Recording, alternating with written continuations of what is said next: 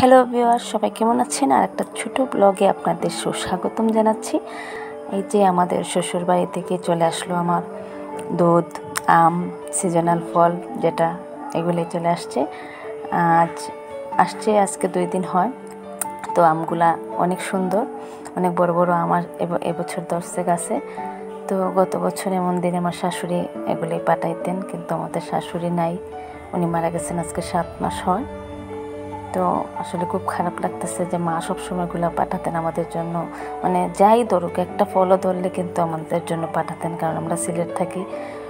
আর বাড়ি থেকে যাই হয়, নিয়ে আসার দুধ তো সবসময় পাঠাতেন। তো এগুলো যখন আসছে, খুব খারাপ লাগছে যে আসলে শাশুড়ি মানেই কিন্তু ফল তো ঠিকই চলে আসছে।